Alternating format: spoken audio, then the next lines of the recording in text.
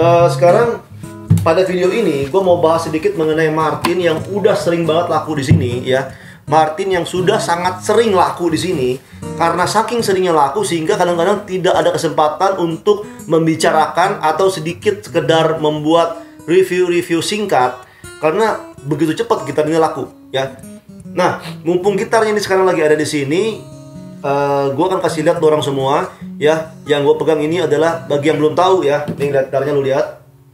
Bagi yang belum tahu, ini adalah gitar Martin DX1E 04 ya DX1E04 nah kode-kode Martin itu kadang-kadang kita masih banyak yang bingung dan belum begitu paham maka gua kasih sedikit uh, pencerahan ya DX1E D itu artinya body dreadnought ya Tuh lihat body dreadnought dreadnought itu body full ya full dreadnought ya.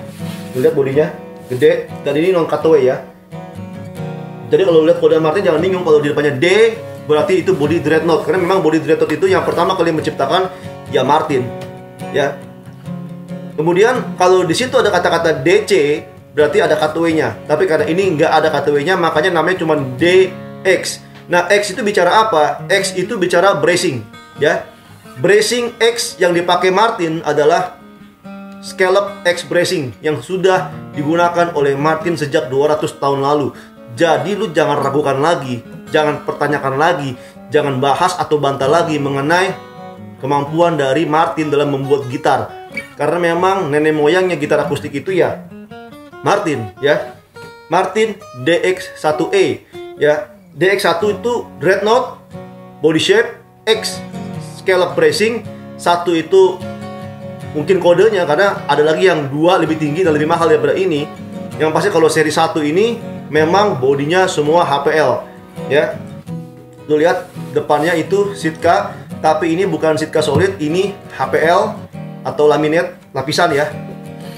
Side and backnya mahogani itu juga HPL ya. Jadi memang kalau lu pegang nih lapisan luarnya ini bukan seperti kayu ini seperti ya seperti HPL kalau lu punya furniture di rumah gua rasa lu tahu deh HPL itu apa ya kalau nggak tahu lu coba google aja sendiri apa itu HPL DX1E E itu bicara ada elektriknya, berarti ada preamp. Preampnya apa? Yang dipakai di sini adalah Fishman MX. Lo lihat di sini ada yang di dalam sini ada volume dan tone.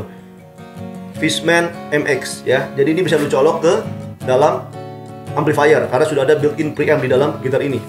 Neck ini juga cakep, tuh lihat. Lihat, Amer coba fokus ke neck dulu. Ya, necknya cakep banget ini. Ya tentunya ini bukan asli kayunya seperti ini karena ini juga adalah lapisan. Ya lapisan HPL tapi nggak masalah gue rasa untuk harga gitar yang cuman dengan merek Martin dan harganya cuma 9 juta 500an pada saat video ini dibuat gue rasa itu dan dapat gig bag pula dan dapat gig bag ya. Jadi setengah jutaan itu sudah dapat gig bag dapat preamp Fishman MX dan walaupun dia kayunya nggak ada yang solid alias HPL semua tapi kan ini Martin. Dan dengan bracing dan dengan senar dan dengan build quality-nya yang dimiliki oleh gitar ini menurut gua segala sesuatu itu bisalah spesifikasi itu lu kesampingkan aja lu buang jauh-jauh ke laut sana ke emperan-emperan got karena kita nggak bicara spesifikasi tapi kita bicara Martin. Kalau lu masih belum jelas gue ulang supaya semakin jelas Martin M A R T I N ya semoga lu semakin paham bahwa Martin itu adalah sebuah merek Martin itu bukan gitar Martin itu merek ya. Jadi sehingga tentunya merek yang 200 tahun lamanya bukan gitar biasa. Nah, karakter sound dari Martin ini sendiri sudah pasti seperti sering dibahas di video-video sebelumnya, karakter soundnya adalah karakter warm, ya. Lu bisa dengar, memang semua Martin itu karakternya warm. Jadi itu sangat wajar dan memang itu yang kita harapkan ketika kita membeli sebuah gitar Martin. Lu lihat.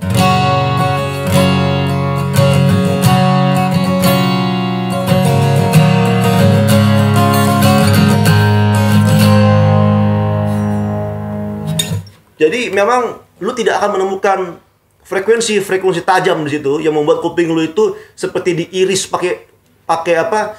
Pakai gergaji itu nggak ada. Frekuensinya memang frekuensi warm semua dan menurut gua cukup balance dan dengan harga 9,5 juta itu sangat sangat sangat worth it ya. Dan kebetulan body dreadnought ini adalah body shape favorit gua. Kenapa? Karena suara akustik yang keluar dari body shape dreadnought itu memang karakternya loud, kenceng, dan memang secara akustik sangat mumpuni untuk dipakai perform. Itu ciri dari body dreadnought ya, walaupun gede. Mungkin kalau cewek kurang suka, tapi kalau suara yang keluar dari body dreadnought ini itu kenceng dan enak dan tidak bikin kuping sakit, tidak cempreng alias low atau bassnya itu terasa. Ya. Nah, gue gak banyak ngomong lagi. Uh, kita akan coba dengerin suaranya dari gitar ini, ya.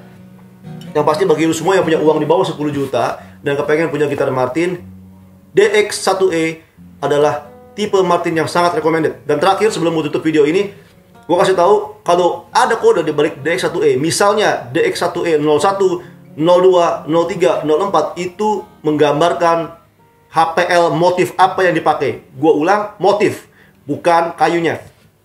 Jadi HPL yang dipakai. Misalnya DX1E 01 itu mahogani mahogani. Jadi depannya mahogani juga, belakangnya juga mahogani.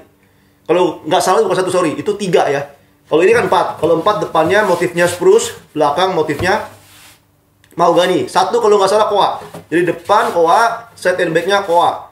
Nomor dua rosewood ya. Depannya spruce, set and backnya rosewood. Tentunya ya bukan koa betulan, bukan rosewood betulan, bukan mahogani betulan, tapi semua cuma motif HPL. Makanya harganya semua sama dan rata. Itu aja informasi yang mau gue sampaikan untuk mengenai gitar Martin ini. Coba kita dengar dulu suaranya.